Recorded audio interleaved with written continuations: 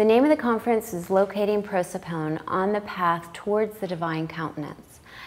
Locating Prosopon was the main title because, we, because a lot of people don't really know what prosopon means. They don't understand that theological concept. They don't understand how the school understands prosopon.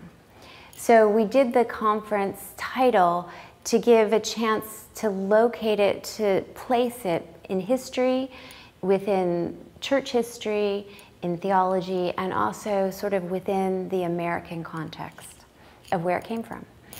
And towards that end, we then had some people who spoke about Vladislav's history and the things that influenced him. We had some people talk about church history and the development of prosopon. And then we had some people talk about particularly the church history and how those ideas have been used and interpreted by Vladislav Andreev. So really there were three reasons for the conference. The first one was to to, for the students within the school and for everybody who is a part of the school to have a sense of what the Prosopon School is. Its reason, its purpose, uh, the main theological points, what iconology is. The second reason why we did the conference was to begin to to articulate for a broader culture, for people outside of the school in America, what the Prosopon School has done. The Prosopon School is a uniquely American iteration of iconography. Uh, Vladislav Andreev has done something which is remarkable, which is he studied art and theology and prayer in Russia, but he never studied iconography. He never studied with any Russian master.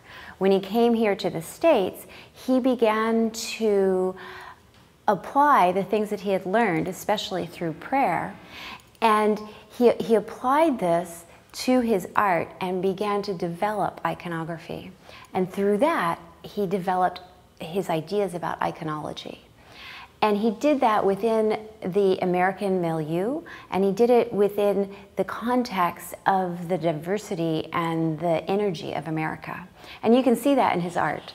So we wanted to, uh, to be able to begin to expose and explain this to the broader culture.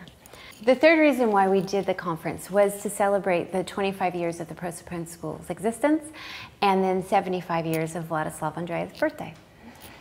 It was a wonderful celebration on Friday night. We had a big dinner and lots of toasting, and, and Nikita and Melanie sang for Vladislav. And on Friday night, we had more of a family time. And then on Saturday, we did a more academic and slightly more serious part of the conference.